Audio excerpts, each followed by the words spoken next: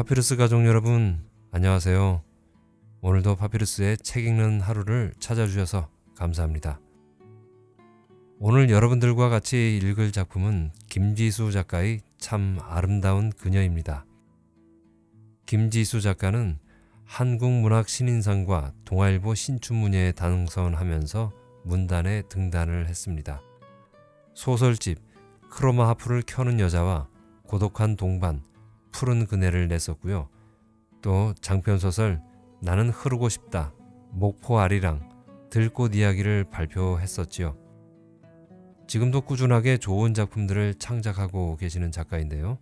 오늘은 김지수 작가의 단편들 중에서 참 아름다운 그녀를 읽어드리겠습니다.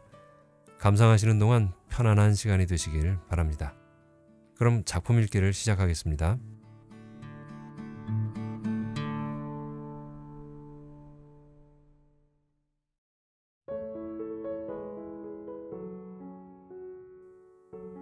참 아름다운 그녀 김지수 20대 중반에 나는 잠시 남해의 어느 절해 고도에 머문 적이 있었다. 막 제대한 직후였고 복학 신청을 한 후 새 학기 개강을 기다리는 동안 잠시 집을 떠나보기로 했다. 그 즈음에 나는 언제나 절해 고도에 떠 있는 느낌이었다. 망망하고 적막한 하늘과 바다 가운데 오직 나 홀로였다. 나는 빛을 잃고 낙하하는 조각난 유성이거나 바다 기슭에 떠내려온 허접 쓰레기 같기도 했다. 미래와 진로라는 이름으로 수많은 선박들이 돛을 달고 나아가기를 기다리고 있었으나 한결같이 불확실하고 불투명했다. 자신감이 바닥인 상태에서 잡아탄 배가 순항선이 될지 난파선이 될지 아무것도 분명하지 않았다. 전공인 법학과에 복학 신청을 하긴 했지만 나의 취미와 관심은 완전히 다른 분야에 기울어져 있었다. 낮에는 도서관에서 법전을 파고 저녁이면 충무로와 대학로를 기웃거리며 불면의 밤을 뒤척이다가 어느 날 문득 그 모든 것에게서 멀어지기로 했다. 실제로 절의 고도로 떠나보기로 한 것이다. 천지의 봄 기운이 가득했다. 5월이 문을 열고 있었다. 어버이날이 코앞에 있었지만 카네이션 대신 간단한 쪽지 한 장을 남기고 배낭에 짐을 챙겨 용산역으로 갔다. 가장 먼 남행열차의 종착역에서 내렸고 소금기 가득한 목포 선창에서 배시간이 가장 가깝던 섬으로 가는 표를 끊었다. 어느 섬에 도착하기까지 나는 그 섬의 이름에 대해서 들어본 적이 없었다. 배를 타본 적이 없었기에 뱃멀미를 아주 심하게 했다. 나는 내가 아주 어린애라는 것을 깨달았다. 멀미가 그 구별을 하는 것은 아니겠지만 세상 풍파에 대해서 겪어본 적이 너무나 미약하다는 상징 같았다. 당시에는 우리 또래의 무전여행의 유행이었으나 내 주머니 사정은 그다지 옹색하지 않았다. 술, 담배를 즐기지 않았으며 집안 형편도 나쁘지 않아 모아둔 용돈이 넉넉했기에 굳이 궁핍한 여행을 할 필요는 없었다. 이를테면 나는 중산층의 전형적인 모범생이었고 평생 처음 잠시 일탈을 한 셈이었다. 배를 타고 3시간이 넘게 들어간 그 섬은 풀 초자가 들어간 이름에 어울릴 만큼 작고 빈곤한 어촌이었다. 내가 그 이름을 굳이 올리지 않는 것은 그 이름만으로도 아직도 가슴이 심히 저릿하기 때문이다. 내 자신이 하멜처럼 느껴지던 무지하고 긴 항해 끝에 마침내 배가 멈췄다. 남해에 별이 박힌 듯 점점이 떠 있는 수많은 섬들을 지나고 또 지났는데도 배는 여태 바다 한가운데였다. 바다가 지구 표면의 70%를 차지하고 있다는 사실이 비로소 체감되기도 했다. 하선을 기다리는 승객들이 몰려있는 부두 멀리 마지막 기항지인 작은 섬이 보였다. 수심이 얕아 무트로 건네주는 작은 도선이 다가왔고 몇 사람의 승객이 두툼한 널빤지를 받쳐놓은 그 철선에 한 사람씩 옮겨 탔다.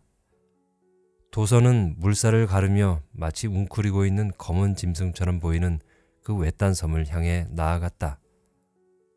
20여 분 후 섬에 닿자 다시 그 널빤지가 배전과 부두 사이에 놓여졌다. 도선이 심하게 요동치는 바람에 중심을 못 잡은 나는 하마터면 바다로 굴러 떨어질 뻔했다. 그렇게 가뭇 없이 사라졌다면 내 존재는 누구도 행적을 찾아내지 못한 판자 조각이 될 수도 있지 않을까. 공포와 해방감이 소금기 머금은 바람이 머리카락을 헤집듯 마음에 스쳤다. 난생 처음 겪는 혹독한 뱃멀미에 노란 위에까지 토해낼 때도 왜 이 생고생을 자초한 것일까 잠깐 후회도 했지만 육지에 발을 내딛자 젊음과 호기심 때문인지 이내 회복이 되었다. 눈앞에 농도 짙은 푸른 파도가 그만큼 맑고 강렬한 햇살과 얽혀 눈부시게 부서졌다. 그 너머 백사장과 먼지가 부옇게 일고 있는 비포장 흙길이 펼쳐졌다.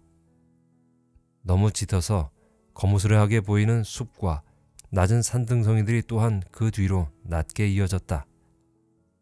다녀간 적도 없고 들어본 기억도 전혀 없는 곳인데도 이상하게 익숙하게 느껴지는 원시적인 풍경이었다. 당장 식사를 해결해야 했고 당분간 묵을 곳이 필요했다. 우선 땅바닥에 닿을 듯 납작 엎드려 있는 가까운 부둣가 구멍가게로 들어섰다.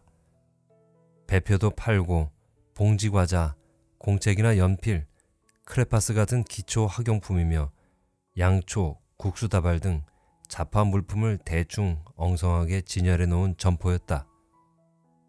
시커먼 파리떼들이 마른 오징어 묶음에 들끓다가 인기척에 우르르 날아다녔다. 다행히 숙소는 어렵지 않게 구했다.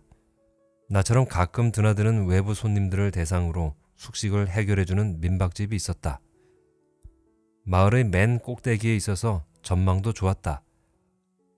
낡은 고택이었으나 지붕에 오래된 푸른 귀화를 이고 위치가 높아서 청와대라고 불린다고 했다. 서울에서 가장 멀리 떨어진 외딴 섬에 왔는데 임시나마 청와대에 살게 되다니 재미있는 일이었다. 재미있는 일은 또 있었다. 한 블럭 떨어진 언덕배기 아래로 비슷하게 지은 작은 규모의 흙벽 집들이 나란히 여러 채 있었는데 섬의 유일한 초등학교 선생님들의 관사였고 얼마 있지 않아 그 선생님들과 친해졌기 때문이다.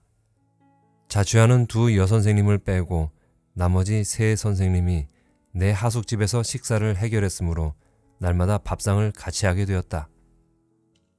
세 분 중에 두 분이 갓 부임해온 내 또래였고 우리는 곧 가까운 사이가 되었다. 나는 선생님들에게 기타를 배우기도 하고 서로 소지한 책을 바꿔보았고 군대 다녀온 이야기로 공감도 나누었다. 이른 저녁을 먹고는 달빛이 가득히 차오르는 운동장에서 아이들과 함께 편을 짜서 축구도 했다. 그들이 수업을 하는 낮 동안에는 나 혼자 섬을 헤집고 다녔다. 5월의 섬은 곳곳이 꽃잔치였다. 이름도 모르는 수많은 들꽃들이 마당가에서 우물가에서 산개슬기나 골짜기에서 화르르 화르르 작은 불꽃처럼 피어나고 있었다. 특히 질펀한 들과 논두렁과 묵정밭에 자줏빛 연분홍 안개처럼 자욱하게 물이 지어 피어나는 자운형은 그림처럼 환상적이었다. 가까이 들여다보면 토끼불과 초롱꽃, 망초꽃들이 섞여 있었지만 멀리서는 온통 몽환적인 자운형 꽃 잔치였다. 하늘자락이 타오르는 듯 붉게 물들며 노을이 지는 저녁이나 하얀 해무로 둘러싸인 새벽녘에 이슬을 털며 보랏빛 구름 같은 꽃들판을 거닐 때는 이곳이 아마 천국인가 싶기도 했다. 그렇게 산야를 쏘다니고 무더워지면 바다에 나가 해수욕을 즐겼기에 이내 나도 섬 사람들처럼 새까맣게 그을렸다. 한밤에는 언젠가 내가 연출하게 될 대본을 머리를 쥐어짜며 끄적였다. 그저 단순하고 잡념 없는 나날이었다. 법전은 단 한 권도 가져오지 않았다. 1차 사법시험에 합격하고 영장이 나와 군대에 다녀왔지만 나는 남이 지은 죄의 경과와 경중을 따지느라 평생을 법정에서 맞서는 직업보다는 내가 좋아하는 일을 하고 싶었다. 미래가 불투명한 예술계로 진로를 바꾸고 싶은 욕망은 아직 누구에게도 밝히지 않았다. 법관인 부친이 알면 크게 실망해 절대적으로 반대할 게 빤한 일이었지만 내 결심은 그곳에서 점점 더 굳어져 가고 있었다. 어느 하루 모란이 지든 모두들 한꺼번에 사라졌다. 여름방학이 시작된 것이다. 그 전에 자운형 꽃밭도 진즉 고스란히 사라져버렸다. 쟁기를 짊어진 농부들이 한나절 만에 밭을 갈아엎던 것이다. 방학이 시작된 날 오후 선생님들은 모두들 막배를 타고 곧바로 각기 어디론가 떠나버렸다. 학교에는 정년이 가까운 노교사만이 남았다. 그러고 보니 고향이 이웃 섬인 그 노교사를 제외하고는 모든 선생님들이 줄곧 섬을 떠나 육지로 전근 나갈 희망과 목표를 세우고 있었음을 상기했다. 개강이 아직도 먼 데다 점점 복학할 의미를 잃어가던 나는 졸지에 홀로 남았다. 어차피 혼자 있어 보자고 떠나온 길이었는데 막상 가까이 지내던 이들이 일시에 사라져 버리자 외로웠고 사람이 그리워졌다. 자, 여기서 나는 가장 중요한 이야기를 빠뜨렸다. 의도적인 건 아닌데 그 소녀의 등장을 풀어놓을 마땅한 계기가 없었다. 저녁을 먹고 나면 백사장과 이어지는 학교 운동장에서 나와 선생님과 고학년 아이들이 어울려 편을 짜서 축구나 배구를 했는데 근처에는 늘 여자아이들도 몇 명 끼어 놀았다. 그 아이들 속에 그 소녀도 있었다. 작고 깡마른 데다 유난히 새까매서 제 학년보다 훨씬 더 어려 보이고 부실해 보이는 아이였다. 체구 때문에 선수로는 끼어들지 못하는 아이는 멀찌감치 주변에 서 있다가 공이 바다로 굴러가거나 엉뚱한 곳에 떨어지면 얼른 주워다 주는 역할을 했다. 제 발밑에 주워온 공을 내려놓고 제 딴에는 힘껏 발로 차서 전달해 주는 것이었는데 헛맞거나 엉뚱한 방향으로 떼구르르 구르기 일쑤여서 아이들의 핀잔을 받았다. 외톨이였고 말수도 적었다. 내가 느낀 바로는 아이는 아주 심심해했고 여러 친구들과 어울리고 싶어 하는데 아무도 끼워주지 않는다는 것이었다. 적어도 그 아이에 대한 나의 인상은 얼마 동안 그뿐이었다. 어느 날 그날따라 경기가 치열해서 노을이 지고 달이 환히 뜨도록 이어진 밤이었다. 아이가 공을 주었는데 가까이 서 있는 나를 보고 발로 차려다 말고 그냥 두 손으로 공손히 건네주었다. 마주 올려다보는 아이에게서 공을 받으면서 나는 한순간 깜짝 놀랐다. 무심히 내려다본 아이의 용모가 아주 또렷했기 때문이었다. 최종 목표가 영화 감독이고 연극 영화과로 편입학을 고심하고 있었던 나는 솔직히 자신이나 타인의 인물에 관심이 적지 않았다. 개성과 외모에 대한 미적 감각과 안목도 있었다. 조그만 꼬마 아이가 이처럼 매혹적인 생김새라니. 한여름밤 백사장의 휘영청 차고 넘치는 푸른 달빛에 영향을 받아서 그래 보였나 싶었다. 다음번에 다시 소녀를 만나게 된 나는 이번에는 유심히 살펴보았다. 나의 안목은 일시적으로 잘못된 게 아니었다. 자세히 뜯어보면 볼수록 소녀는 드물게 보는 개성적인 미모였다. 삐쩍 깡마른 홀쭉한 뺨에는 허연 버짐이 피었고 햇빛에 함부로 그을린 까맣고 누르끄레한 피부에 삐뚤어지게 잘리고 헝클어진 머리카락과 남루한 옷차림, 자신감 없는 언사에 가려진 얼굴이었지만 자세히 보면 볼수록 태생적으로 뛰어난 생김새였다. 굴곡이 매끄러운 계란형 얼굴, 검고 크고 빛나면서도 어딘지 서늘하고 깊은 눈, 반듯하게 빚어진 콧날과 윤곽이 또렷한 입술을 가졌다. 나는 일찍이 이만큼 완벽히 갖춘 용모는 보지 못했다. 자주 소녀의 얼굴에 눈길이 갔지만 자꾸 들여다보기가 민망했다. 선생님들이 한꺼번에 사라져버린 후 학교와 운동장과 백사장은 텅 비었다. 마치 섬 전체가 텅 빈 듯했다. 방학 숙제에 골몰한 건지 아이들도 눈에 띄지 않았다. 어느 날 한 선생님이 두고 간 기타로 서툴게 로망스를 뜯고 있는 내게 상춘이가 찾아왔다.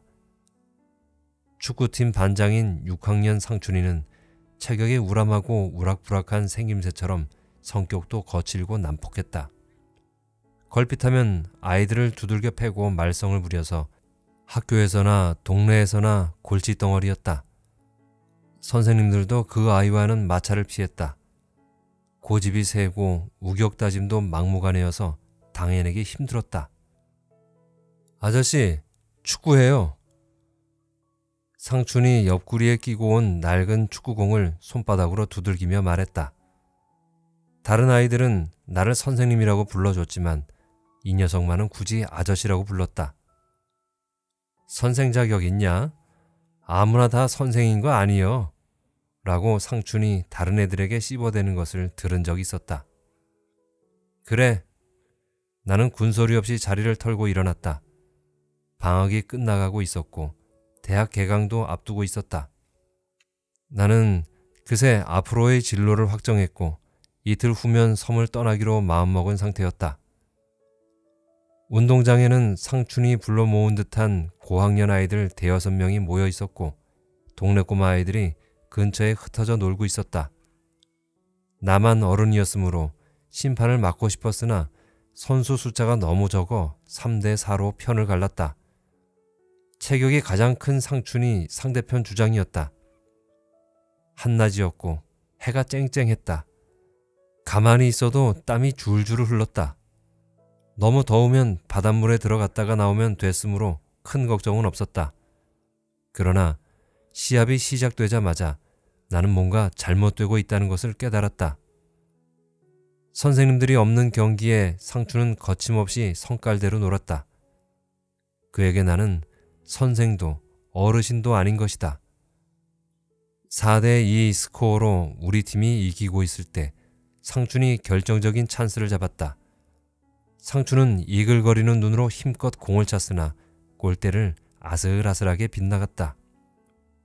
공이 굴러가는 쪽을 바라보니 그 까맣고 조그만 여자아이가 저만큼 서서 이쪽을 바라보고 있는 게 보였다. 아이는 자기 쪽으로 굴러오는 공을 잡으려다 말고 씩씩거리며 거칠게 뛰어오는 상춘의 기세에 멈칫 뒤로 물러섰다. 성난 소처럼 뛰어간 상춘이 공을 집어들었다. 돌아서려다 말고 상춘은 냅다 두 손으로 공을 번쩍 들어 올리더니 벼랑간 여자아이의 머리를 내리쳤다. 승부에 밀리고 있는 화풀이를 한 것이다. 소녀가 빗자루처럼 풀썩 쓰러졌다. 순식간에 일어난 일이었다. 아이들이 멍한 표정으로 나를 올려다보았고 나는 정신없이 뛰어가 아이를 안았다. 아이는 깃털처럼 가벼웠다. 나는 아이를 안고 양호실로 뛰었다. 그곳에 가면 뭔가 대책이 있을 것 같았다. 아이들 두엇이 나를 뒤쫓아 따라왔다. 교무실에는 다행히 방학 중 일찍을 도맡은 노교사가 있어서 서둘러 양호실 문을 열어주었다. 눈을 감은 채 죽은 듯 누워있는 아이를 이리저리 살펴보던 노교사가 가만히 혀를 찼다. 괜찮을 겁니다. 불쌍한 아이예요. 은미라는 이 아이의 아버지는 너무 늙었고 젊은 엄마는 계모라고 했다. 그처럼 마르고 병약해 보였던 건 아무래도 영양 부족과 보호자의 방치였나 보았다. 마음 같아서는 이 불쌍한 아이를 어떻게든 거두어주고 싶었다. 생김새처럼 예쁘게 자라도록 지극히 보살펴주고 싶었다. 그러나 자신이 앞가림도 못하고 있는 처지에 대책 없는 망상이 아닐 수 없었다. 소녀가 슬그머니 눈을 떴다. 크고 까맣고 아이답지 않게 서늘한 눈빛과 마주쳤다. 어린 나이에도 사는 게 고단해서 그처럼 눈빛이 깊은가 싶었다. 나는 서울로 올라왔고 고시에 합격한 다음에는 무슨 일을 하든 상관하지 않겠다는 부모의 호소와 언지를 받고 일단 법학 공부에 정진했다. 몇 번의 낙방 끝에 겨우 사법시험에 합격하고 연수원을 수료하자마자 나는 곧바로 영화 연출과에 편입하겠다. 내가 쓴 각본으로 내 작품을 연출하는 감독이 되겠다는 꿈의 길로 마침내 입문한 것이다. 졸업을 하고 본격적으로 현장에 뛰어들면서 조금씩 실무를 익혀나갔다. 본의 아니게 변호사 출신이라는 후광이 입혀진 덕분인지 가벼운 언더그라운드 영화를 만들기 시작하면서 점차 이름도 알려지게 되었다. 공부를 계속해 석사 학위도 받았다. 목표가 뚜렷했고 경제적인 뒷받침도 주어진 덕분에 점차 규모 있는 드라마와 영화의 조연출도 하나 둘 손쉽게 맡을 수 있었다. 내 영화를 제작하는 최종적인 꿈이 눈앞에 다다랐다. 그 사이 정년기에 이르자 작품 연출 중에 사귀게 된 유명 탤런트와 결혼도 했다. 모든 일이 너무도 순조로웠다. 신혼을 즐기던 어느 날이었다. 사무실에서 새로 맡은 사극의 콘티를 짜느라 몰두하고 있는데 칸막이 너머로 잠시 방문한 외주업체 직원들이 서로 한담을 나누는 목소리가 들려왔다. 남해의 어느 섬에 대한 이야기였다. 그 섬의 이름이 내 귀에 문득 꽂히자마자 나는 하던 일을 접은 채 온 신경을 그쪽으로 모았다. 너무 오랫동안 잊고 있었던 기억 속의 이름이었기 때문이었다. 자운형 꽃이 무리진 그 섬의 들판이 그야말로 그림처럼 환상적이더라는 이야기가 들렸다. 로케이션 장소를 헌팅하는 현장 팀원인 듯 했다. 더욱이 발갛게 노을이 지는 저녁 무렵이나 하얀 바다 안개가 구름처럼 흐를 때 분홍 자줏빛이 몽환적으로 자욱한 자운영 밭은 평생 잊을 수가 없더라는 말이 이어졌다. 하마터면 자리에서 벌떡 일어나 나도 안다고 나도 그 꿈 같은 광경들을 잊을 수가 없다고 끼어들 뻔했다. 다음 말들이 이어졌다. 게다가 그 섬에서 아주 굉장한 미인을 봤어. 그가 동료에게 말했다. 자운형은 저리 가라더군. 어떻게 그런 섬에 그런 미인이 갇혀 사는지. 자넨 웬만하면 이쁘다고 않는데 근데 갇혀 살다니 뭔 말이야? 글쎄 들어봐. 바닷가를 산책하는데 아주 기가 막힌 미인이 저만큼 지나가더라고. 같이 있던 캐스팅 매니저가 그 아가씨를 보자마자 뒤쫓아가기에 우리도 홀린 듯 덩달아 따라갔는데 그 섬에 어울리지 않게 요새 같은 양옥집으로 들어가더라고. 뭔 사람들이 우르르 몰려나와 문전박대 당했는데 나중 듣고 보니 거기 갇혀 살다시피 한다더라니까. 영락없는 비비안 리였는데 비비안 리? 아무튼 이미지가 우수에 찬 비비안 리? 약간 그런 쪽이었어. 그래서 어떻게 됐어? 데려오기라도 한 거야? 갇혀 산다 했잖아. 다시는 얼굴 구경도 못했네. 감시받는 것 같은 데다 그 섬은 수심이 얕아서 큰 배는 못 들어가고 작은 도선으로 옮겨 타야 나갈 수 있는데 그 부두만 누가 통제하면 꼼짝 못 하겠더라고. 에이, 지금 세상이 어떤 세상이라고. 암튼 다시는 못 만났네. 그 섬 사람들이 그 아가씨 얘기를 꺼내면 다들 쉬쉬 하고 입을 닫아버리대. 그 다음에는 우리도 압력이 들어와서 촬영도 제대로 못하고 쫓기듯이 나왔다니까. 섬은 섬이더라고. 그들은 또 다른 이야기로 소재가 넘어갔다. 나 역시 마침 협업하는 업체 직원이 찾아오는 바람에 곧 다른 업무에 바빠졌다. 그 작은 섬에 우수에 찬 비비안리라니. 동화 속의 요새 같은 성이라니. 잠깐 엉뚱한 각본 이야기를 들은 것 같기도 했다. 내가 이성으로 가장 먼저 첫 정을 주었고 그녀로 인해 영화 연출을 꿈꾸게 한 외국 여배우의 이름이 그처럼 후미진 섬에서 떠오를 줄 몰랐다. 아무래도 전혀 연관성 없는 비현실적인 이야기 같아 흘려들었다. 그로부터 몇 년 후 나는 혼자 사무실에 우두커니 앉아 있었다. 첫 연출과 제작을 맡아 모든 열정을 바친 영화는 완전한 실패로 끝났다. 시장의 반응은 싸늘했고 졸작이라는 혹평과 함께 흥행 성적은 참담했다. 아내와는 이혼을 했다. 그녀는 나와 여러모로 어긋났고 상황이 어려워지자 갈등이 심화되다가 마침내 헤어졌다.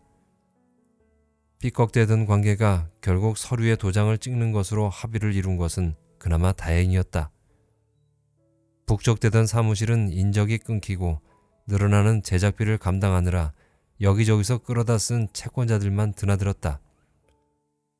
전혀 예상치 못한 실패였기에 나는 더 깊은 시리에 빠졌고 사람들을 만나는 것이 두려웠다. 자존감은 바닥에 떨어졌고 기고만장했던 지난 날들이 스스로 부끄러워 지상에서 흔적 없이 사라져버리고 싶었다. 그 낭망의 늪 한가운데서 불현듯 그 섬이 떠올랐다.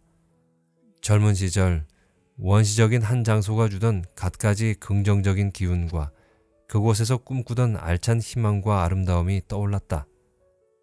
왜 한 번도 다시 가보지 않았을까? 그 자운형 꽃들은 다시금 자욱하게 피어나는지 달빛 어린 창가에서 혼자 서툴게 익히던 로망스며 밤새 끼적이다가 날이 새면 다시 읽고 찢어버리곤 하던 원고며 바닷가 운동장에서 힘차게 공을 차며 지르던 함성도 떠올랐다. 모래사장에 철썩이던 파도 앞까지 공은 차올랐었지. 갑자기 공을 집어주곤 하던 까맣고 깡마른 여자아이 생각도 그제야 희미하게 떠올랐다. 정말 왜 한 번도 다시 기억해 보지 않았을까? 그 시절 한때 늙은 아비와 젊은 계모에게 자란다던 불쌍한 그 아이를 돌보고 싶다는 용기도 잠깐 가졌었는데 아이는 그 후로 어떻게 자랐을까? 이제 성년도 훌쩍 넘겼을 것이었다. 기억은 문득 선명해져서 은미라는 이름까지 떠올랐다. 전화벨이 울렸다. 그 순간 왠지 나는 그 섬에서 소식이 온 듯한 본능적인 느낌을 받았다. 가끔 사람은 기적 같은 예지력을 지각하기도 한다지만 모를 일이었다. 기억나실란가 모르겠네요. 수화기 저편에서 어떤 사내가 걸쭉한 남도 사투리로 다소 멈칫거리며 물었을 때 나는 대뜸 그 섬을 떠올렸다. 올해 현장에서 뛰는 동안 여러 지방으로 취재와 촬영을 다녔고 남쪽에도 지인들이 많이 생겼지만 웬일인지 그 섬 사람이라는 확신이 들었다. 예감은 맞았다. 사내는 자신이 그 섬에 살고 있는 조상춘이라고 했다. 그는 내게 할 이야기가 있다고 했고 내가 사무실로 오라고 하자 자기가 아는 장소에서 만나자고 했다. 거칠고 막무가내 적이던 사내 아이. 좋은 인상으로 남지 않았던 그 아이가 20여 년이 지난 지금 이어진 인연의 끈도 없이 갑자기 왜 만나자고 하는 것인지 의아했지만 딱히 못 만날 이유도 없었다. 우선 예전처럼 바쁘지 않았고 그로부터 섬 소식을 들을 수 있다는 일말의 기대감도 작동했다. 상춘이가 만나자고 한 장소는 변두리의 작은 주점이었다. 제가 맨정신으로 이런 말 드리기가 참 못해서요. 먼저 와 있던 상춘이가 혼자 소주잔을 비우다 말고 나를 보자 자리에서 일어나며 꾸벅 인사를 했다. 한눈에 어릴 적의 모습이 고스란히 떠올랐다. 두툼하고 우락부락하던 몸집에 세월의 무게가 쌓여 그만큼 더 단련된 듯 했다. 그도 이제 실한 어른인 것이다. 한 번도 안 내려오시대요. 한 번은 오실란가 했는데 이미 벌개진 얼굴로 그가 말했다. 그는 아직도 그 섬에 살며 나를 기다렸다는 것인가 뜻밖이었다. 우리 섬에 오시면 낚싯배는 공짜로 될 텐디. 제가 이래 봬도 어선도 서너 척 갖고 있고 인근 어업권하고 선박 운항권도 싸그리 장악하고 있습니다요. 내 자랑 같지만 사람들이 나 모르게 우리 섬에 들어오지도 나가지도 못한 지 오래됐구먼요, 선생님. 상춘이 나를 선생님이라고 불렀다. 예전에는 굳이 아저씨라고 불렀었다. 그런데 그가 새삼 나를 그렇게 존칭하려거나 자기가 가진 운항권과 어업권을 자랑하려고 부른 것은 아닐 것이다. 불안의 원인은 알 수 없었지만 나도 모르게 조금씩 긴장이 되었다. 우리는 약간의 안주와 소주를 추가로 시켰다. 은미라고 아시죠, 선생님? 이런저런 사소한 이야기 끝에 그가 불쑥 말했다. 내 등줄기로 문득 소름이 돋았다. 내가 그 자리에 남은 것은 사실 그의 전화를 받자부터 그 소녀에 대한 생각이 강렬하게 나를 붙잡았기 때문이었다. 내게 처음으로 아름다움을 경탄하게 했던 아이. 그 아이는 그 뒤로 어떻게 자랐으며 지금 어떻게 지내고 있는지 영화판에서 일하면서 그 어여쁜 아이를 왜 그렇게나 까맣게 잊고 있었던 건지 몰랐다. 그러자 갑자기 미친 듯이 그녀에 대한 소식이 더욱더 궁금해졌다. 그는 은미의 이름을 던지고 내 표정을 살피고 있었다. 마치 그가 오히려 내게 그녀의 정보를 캐내려고 하는 것처럼 느껴졌다. 아, 기억나지? 공주 오던에 그 애도 이제 커서 시집을 갔겠네. 내가 아무렇지도 않은 듯 가볍게 웃으며 말을 받았다.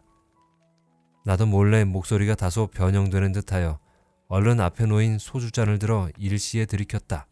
맵싸하고 알딸딸한 기운이 단번에 목구멍을 타고 흘러내려 가슴 어딘가를 서늘하게 적셔지는 것이 느껴졌다.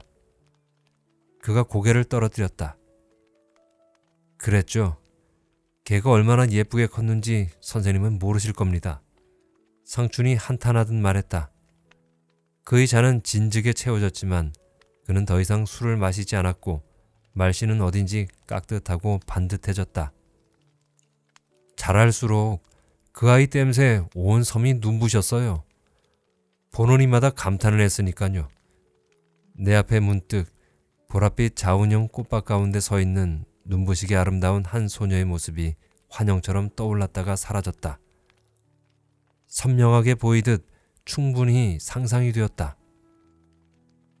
그런데 꺼낸 내용과는 다르게 그가 탄식하듯 말을 이었다. 학교를 졸업하고는 다들 하나 둘씩 무투로 떠났는디 그의 말은 못 나갔어라.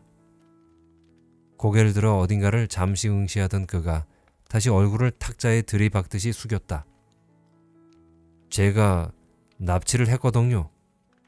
걔가 도시로 나가면 틀림없이 다시 돌아오지 않았을 테니까요. 몇 사람이 주변 탁자에서 떠들며 술을 마시고 있었으나 내 귀에는 아무것도 들리지 않았다. 지금 나는 작고 외진 섬에 갇혀 어디로도 떠나지 못하는 세상에서 가장 예쁜 여자 이야기를 듣고 있는 것이다. 언젠가 흘러들은 우수에 찬 비비안 리의 이야기가 그제야 겹쳐졌다. 그 아가씨는 요새 같은 성에 살며 산책도 감시를 받으며 하더라고 했다. 그런데 도대체 왜 이 무지막지한 인간은 그의 입장에서는 아무 상관도 없는 내게 그녀의 이야기를 하려고 하는 것일까? 상춘이 말을 이었다. 나는 그 섬에서 은미가 원하는 건 뭐든지 다 해줬어라. 호적에 올려 데리고 살면서 묶어놓다시피 하긴 했지만 그거 외엔 잘못한 게 하나도 없단께요. 혼자 격해진 상춘이 갑자기 탁자를 쳤다. 그 앞의 잔이 넘어지면서 술이 쏟아졌다. 아무도 개의치 않았고 나도 그대로 내버려 두었다. 주점에서는 별하별 일이 다 벌어져서인지 주인조차도 관심을 갖지 않았다. 근데 갑자기 죽더만요. 바로 며칠 전에. 술이 쏟아진 탁자에 그가 엎드렸다. 이어 무쇠같이 튼튼하고 두툼해 보이는 그의 어깨가 세차게 들썩였다. 마치 세상에 태어나 처음 울음보를 터뜨린 사내 같았다. 거칠고 서툴고 억세으나 그만큼 격렬했다. 죽었다고? 나는 어안이 벙벙해서 엎드린 그의 등을 바라보았다. 이제 고작 서른 즈음일 텐데 있을 수 없는 노릇이었다. 며칠 전 급성 폐렴으로 광주로 급하게 이송했는디 그만 죽고 말대요. 그가 그 자신도 믿을 수 없다는 듯 울음에 섞여 간간히 말을 토해냈다. 아마도 아내가 죽은 뒤 이제야 비로소 애도의 눈물을 터뜨리는 것 같았다. 눈앞에 닥친 현실을 제 자신도 감당을 못하고 있었는지 몰랐다. 격한 분노가 솟구치며 나는 당장 뻔뻔한 그의 면상을 후려치고 싶은 충동을 느꼈다. 그러나 무슨 자격으로? 잠시 진정된 듯 그가 무겁게 몸을 일으켰다. 이렇게 염치 없고 가당차는 넋두리를 하려고 나를 부른 거냐고 물으려는데 그가 옆자리에 놓아두었던 손가방을 끌어당기더니 그 안에서 두툼한 서류 봉투를 꺼냈다. 장례를 치르고 제가 은미를 위해 해줄 수 있는 게 뭔가 생각해 봤는디 이거라도 선생님께 전달해 드리는 게 옳겠다고 생각해서 갖고 왔구먼요. 비통한 눈물까지 섞여 더 벌게진 얼굴로 그가 들고 있던 봉투를 내게 건넸다. 이게 도리인 것 같아서요. 유품에서 찾았는디 은미 마음이 이제라도 전달되면 제가 덜 힘들 것 같구먼요. 나는 그것을 받았다. 이제 와서 내가 그 가엾고 여린 소녀에게 무엇을 해줄 수 있을까? 봉투에는 예전 초등학생들이 쓰던 낡은 공책에서 시작해 매끈한 노트로 연결된 몇 권의 묶음이 들어 있었다. 그와 헤어진 지 며칠이 지나서야 받아온 봉투를 열어볼 수 있었던 건 왠지 모를 예감 때문에 두려웠기 때문인지 모른다. 게다가 제작비로 무리하게 발행했던 수표와 어음들의 만기일이 다가와 부도를 막으려면 어디든 도움을 구하러 다녀야 했다. 사람들은 나를 외면했고 약속을 무단으로 파기했다. 치르지 못한 급여 때문에 스탭들이 고소했고 전체에게 지불해야 할 위자료 독촉도 녹록치 않았다. 악평과 조롱이 밤낮으로 귀에 윙윙거렸다. 그동안 너무도 거침없이 승승장구했었기에 처음으로 겪어보는 냉혹한 현실 앞에 그만 무릎을 꿇고 싶었다. 공황장애와 우울증이 온전치 못한 내 정신 상태의 빈틈을 한꺼번에 습격해왔다. 아침에 눈을 뜨면 천지가 철근처럼 내 몸을 찍어 눌렀다. 나를 아껴주고 사랑해주고 기다려주는 사람은 천지에 아무도 없었다. 열심히 살았지만 헛산 듯 했다. 더 이상 이처럼 값어치 없고 의미 없는 생을 이어가고 싶지 않다는 공허감과 낙담에 고통이 막바지에 이르던 어느 하루 나는 침울하고 막막한 마음으로 마지막 의식인 양 그 봉투를 열어보았다. 오늘도 선생님을 보았다.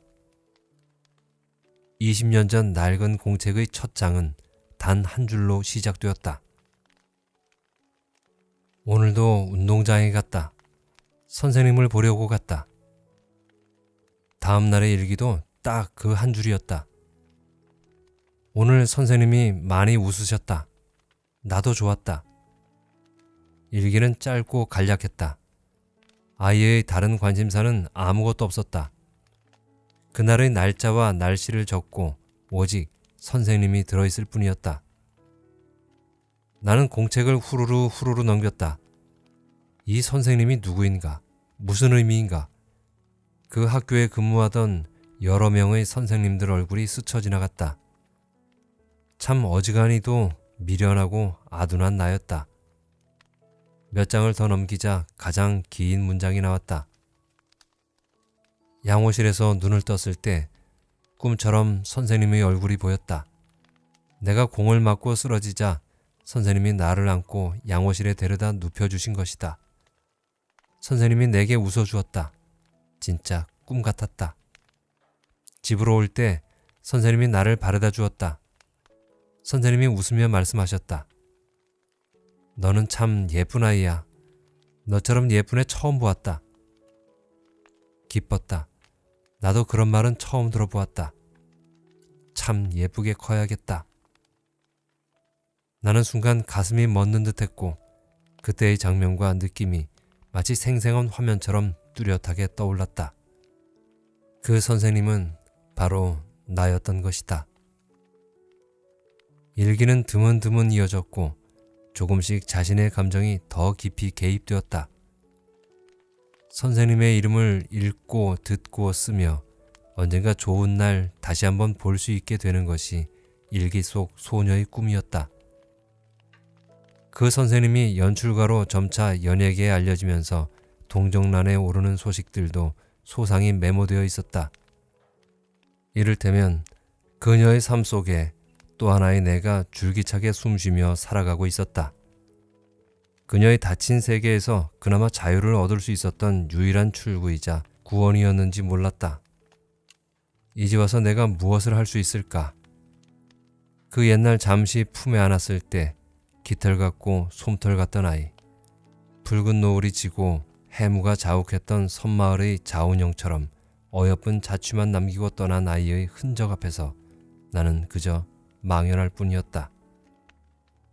세상을 떠난 아내에게 주는 절반의 재산이라며 은미의 이름으로 거금이 송금되어 온 것은 그로부터 얼마 후였다. 그때 나는 어떤 알지 못할 의욕에 사로잡혀 한 아름다운 소녀에 대한 시나리오를 지필하기 시작하고 있었다.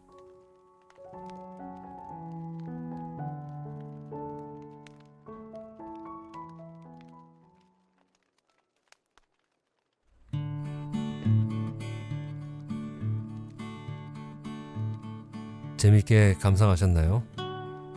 제가 느낀 이 소설에 대한 느낌은 황순원 작가의 소나기와도 조금은 연결지어 생각해도 될 것 같다 였습니다. 소설에서 느껴지는 감정이 그렇다는 것이죠. 머리를 식히러 서울에서 멀리 떨어진 절의 고도인 섬에 들어가 덥고 무료한 일상을 보내다가 보석같이 반짝이는 여자아이를 만났지만 그걸로 특별히 더 인연이 이어지지는 않았지요. 하지만 주인공의 뇌리엔 늘 그 예쁜 소녀에 대한 기억만은 계속 남아 있었던가 봅니다. 그러니까 갑자기 걸려온 전화 한 통에도 묘한 예감 같은 걸 느꼈겠죠. 아무튼 재미있는 건 주인공이 그때의 만남 이후로도 잊지 않고 소녀를 떠올렸던 것처럼 소녀 또한 주인공을 그리워했다는 것입니다. 아니, 주인공보다 더 간절하게 그리워했었던 것 같아요. 그 많은 노트에 적힌 일기가 그런 소녀의 마음을 전해주는 것이라 생각됩니다. 저는 이 작품을 다 읽고 나서 음, 조금 더 마음에 들었던 부분이 있었습니다. 그건 주인공이 소녀의 일기를 읽은 후 그때 이러이러했더라면 어땠을까 하는 그런 회한을 조금 더 보여주지 않았다는 부분이 저는 참 좋았어요. 왜냐고요? 이미 지나가 버린 예쁘게 빛나던 소녀에 대한 기억을 가지고 이리저리 억지로 나중 꿰맞추게 한다는 것은 좀 순수하지 못하다는 생각이 들었기 때문입니다. 저는 그냥 추억은 추억으로 반짝이는 아름다움으로 그대로 두는 게 좋지 않나 싶습니다. 작가의 의도가 어디에 있었던 건지는 모르겠지만 작품의 결론에서 느껴지는 감상은 저의 이런 생각과도 많이 다르지 않은 것 같아서 마음에 들었습니다. 여러분들과 함께 작품을 읽으면서 좋은 시간이 되었던 것 같습니다. 지금까지 김지수 작가의 참 아름다운 그녀를 읽어드렸습니다. 저는 행복한 책 읽기 파피루스의 책 읽는 하루였습니다. 다음에 뵐 때까지 건강하시고 행복하세요.